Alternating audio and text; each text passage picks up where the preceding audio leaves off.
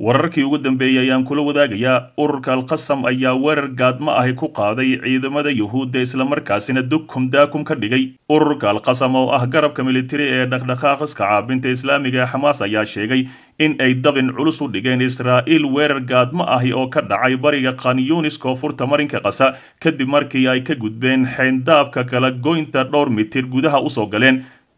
guutooyinka alqasam ayaa intaasi ku daray in bayaan ay soo saareen in ururkooda ay dagaal la galeen ciidamada gudaha u soo galay ayna burburiyeen laba cagaf cagaf iyo hal taangi dagaalka ahi. Islamarkaasina ay cadowga ku qasbeen inay dib u gurtaan amaba cararaan iyagoo dhib aad u xooggan soo gaaray kadibna ku laabtay halkii ay ka soo duuleen. Alqasam waxay sii raaciso oo xaqiijiyeen in askarta yahuudda ee ku dhacay weerarka gaadmada ahi ee khanyunis ay ka carareen gaadiidkooda iyagoo lugaynayana ay dib ugu baxsadeen. Dhanka iyo meeshii ay ka soo tillaabeen dhinaca kale ciidamada gumaysiga ah ee yahuudda ayaa sheegay in rag hubaysan oo rasaas ku fureen ciidamo ka tirsan militariga oo galbeedka ka xiga xeyndaabka xadka marinka qasa ee deegaanka kisumfilim lagu magacaabo. Waxay intaasi ku dareen mid ka mid ahi taangiyada yahuudda uu weeraray kooxda rasaasta ku furay askarta ku sugnaa magaaladaasi iyadoo aan faahfaahin dheeraad ahi laga bixin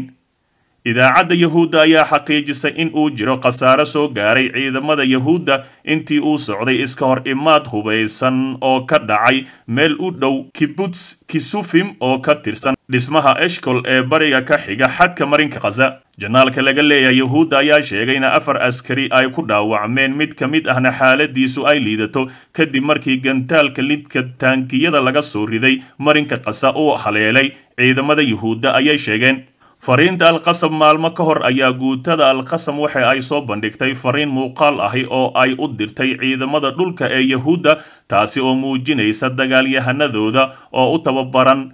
inay beegsadaan gaadiidka dagaalka iyo inay qabtaan askarta yahuudda haddii ay dhacdo in ciidamada yahuudda ay duulaan dhulka ay ku soo galaan magaalada qasa alqasam waxay kale oo ay daaha ka qaaday gantaalka alyaasiin ee ka hortaga hubka kaas oo lagu baroobeeyey howlgalladii dhacay sida howlgalkii daadadka al aqsa. Muuqaal fideow ah oo ay baahiyeen guutada alqasam ayaa sawirada muujinaya boqol iyo shan mitir inuu yahay gantaalka alyaasiin oo burburinaya taangi ay israa'iil leedahay ee markafa lagu magacaabo taas oo ku taalla mid ka mid ahi degsiimooyinka u dhow marinka qasa intii uu socday howlgalka daadadka al aqsa toddobadii oktoobar guddooyinka alkhasam ayaa weerar aan horay loo arag ku qaaday goobaha ciidamada yahuudda ay ku leeyihiin marinka qasa taa beddelkeedana ciidamada gumaysiga ayaa ka jawaab celiyey duqaymo joogto ahi oo ay ku xasuuqayaan dadka rayidka ahi. Dhinaca kale ciidamada yahuudda ayaa barqanimadii shalay waxay shan muwaadiniin falastiiniyiin ahi ku dileen deegaano ka tirsan daanta galbeed bisha cas ee falastiiniyiinta ayaa sheegtay in laba wiil oo dhallinyaro ahi ay ku shahiideen shan kalena ay ku dhaawacmeen duqaymo ay diyaaradaha israa'iiliinta ay barqanimadii shalay ka fuliyeen masjidka al ansaar ee ku yaalla xaafadda aljaniin. Dhinacooda ciidamada yuhuudda iyo adeega amniga guud ee shinbed ayaa bayaan wadajir ahay ku sheegeen in diyaaradahooda burburiyeen jidka tuneelka ahi ee dhulka hoostiisa mara ee masjidka al ansaar waxayna intaasi ku dareen in unug wadajir ahi oo wax duminaya xamaas iyo islaami jihaad waxay ku jireen gudaha tuneelka waxayna mas'uul ka ahaayeen weeraro xiriir ahi oo mar hore dhacay sida ay warbixinta u sheegeen. Yahuudda ayaa ku marmarsiyoonaya inay tuneelkaasi ay bartilmaameedsadeen islamarkaasina ay adeegsadaan ururka xamaas ciidamada gumaysiga ayaa xalay barqanimadii shalay waxa ay gudaha u galeen deegaano dhowr ahi oo ka tirsan daanta galbeed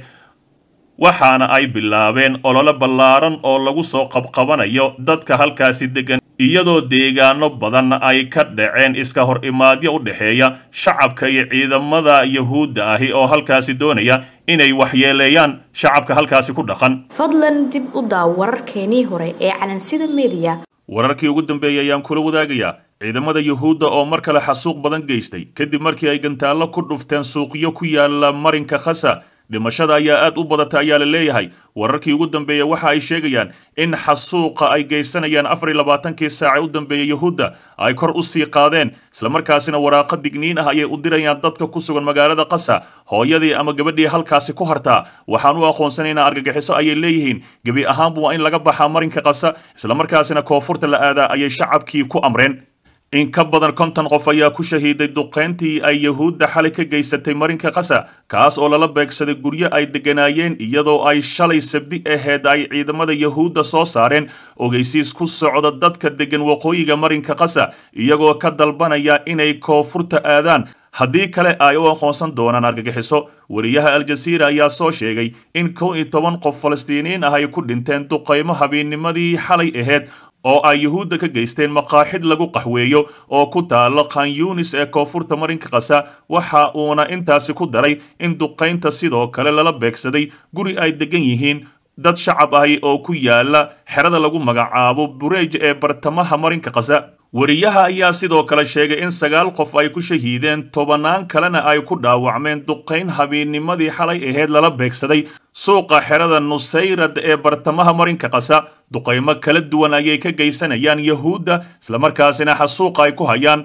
Shacabka ayaa sii badanaya. Dhankeeda xafiiska warbaahinta ee wasaaradda arrimaha gudaha iyo amniga qaranka ee marinka qasa ayaa sheegay in diyaaradaha dagaalka ee yuhuudda ay beegsadeen dad shacab ah oo ku sugan gudaha suuqa taas oo keentay inuu dab ka kaco tiro baqaaro ah iyadoo kooxaha dabdamiska ahi ay in muddo ahi la tacaalayeen shan falastiiniyiin ah oo ka soo jeeda qoyska lagu magacaabo abuushamaala ayaa ku shahiiday weerar dhinaca cirka ahi oo ay israa'iil ku qaaday guryahooda oo ku yaalla magaalada rafah ee koonfurta marinka qasa sida laga soo xigtay ilo caafimaad oo falastiiniyiin ahi. Wararka ayaa intaasi ku daraya in afar iyo toban qofood kale ay ku dhinteen goob kale waxaana ku jira ayaa la leeyahay carruur aad u yaryar shalay ayay ahayd markii ciidamada yuhuudda ay duqeeyeen guri ay degganaayeen oo ku yaalla magaalada diir albalan ee bartamaha marinka qasa halkaas oo ay ku dileen tiro badan. Waxa ayna sidoo kale ku dhaawaceen dad ay ku jiraan carruur muuqaallo ay faafiyeen dadka u ololeeya falastiiniyiinta ayaa muujinaya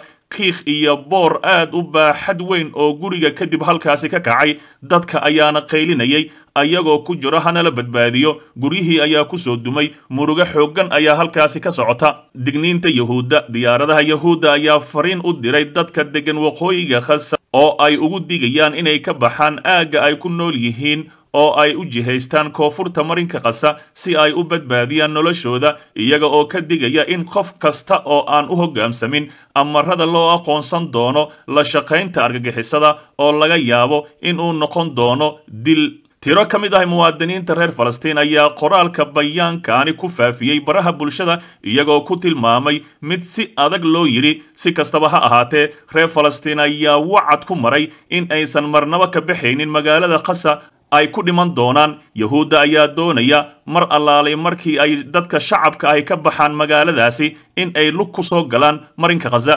dhowrkii maalmood ee la soo dhaafay dhowr waddan iyo hay'ado caalami ah ee xuquuqul insaanka ayaa dhaleeceeyey dalabaadka yuhuudda ee ku wajahan dadka deggan waqooyiga kasa inay ka baxaan koonfurtana aadaan waxayna dalbadeen inay ka baxaan iyaga oo diiday barakicinta dadka deggan marinka kasa duqaymaha yuhuudda ee ka dhanka ah marinka qasa ayaa socda maalintii shan iyo tobanaad kadib howlgalkii daadadka al aqsa kaas oo lagu bartilmaameedsanayo dadka rayidka ahi duqaymo cirka iyo dhulka ahi oo sababay dhimashada iyo dhaawaca kumanaan oo u badan carruur iyo haween iyo burbur baaxad weyn oo gebi ahaanba ka dhacay. Gudaha magaalada qasa si kastaba ha ahaatee yuhuudda ayaa xasuuqeeda sii wada halka xamaas ay gantaaladeeda mar kasta ay ku rido gudaha yuhuudda waxaana la soo werinayaa wararkii ugu dambeeyey. Yuhuud badan inay ka barakacayaan deegaanada ku soo dhacaya gantaalada ka imaanaya xamaas isku soo wada duuboo dadkaasi shacabka ahi allah ayaan uga baryaynaa inuu ka badbaadiyo dhagarta ay u maleegayaan. Yuhuudda duqayn habeen iyo maalin ah ayaa lala beegsanayaa. Meel u fiyow ma jirta xataa dadkan ay dhahayaan u guura ama u carara dhanka koonfureed. Ayaga ayaa duqaynaya dhegaystow ogow haddaadan xalka qayb ka noqon waxaad qayb ka tahay dhibaatada dalka